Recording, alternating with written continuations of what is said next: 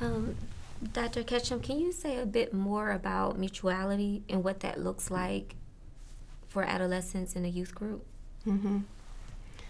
Mutuality, I think, at its core means for people to say, so not just in the abstraction, but what do I say mm-hmm. when I think about mutuality?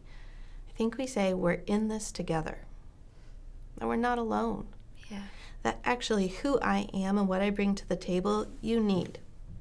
And that's not just in a top down relationship, you know, adults giving to youth, teachers giving to students, um, those with more experience giving less ex- to the less experienced. It's about the need that I have for my daughter to teach me something about prayer.